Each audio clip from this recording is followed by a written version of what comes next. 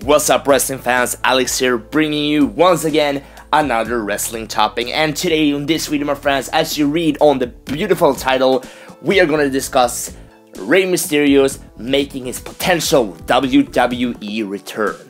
Because former WWE superstar and veteran and should I say Lucha Underground star the master of 619 Rey Mysterio is as, as of speaking right now my friends a free agent according to Sports Illustrated.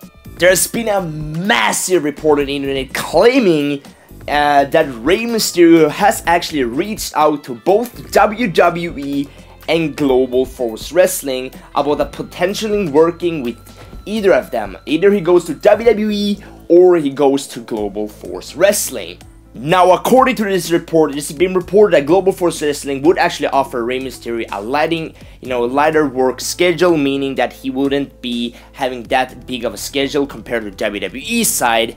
However, if he kind of goes to WWE, I fucking bet that WWE would pay him massive because this is Rey Mysterio, he's a veteran. However, though, Rey Mysterio has a huge list as well of injuries. His last run in WWE let's say he had so much injuries that I'm still amazed that he wrestled, he's kind of still wrestlers today.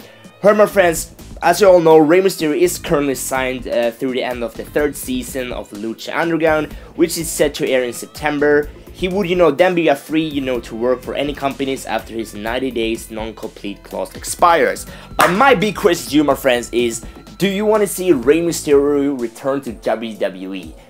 What's your opinion? Let me know in the comment section down below and feel free to like this video as well and subscribe if you like this content and I see you all in the next video. Peace guys.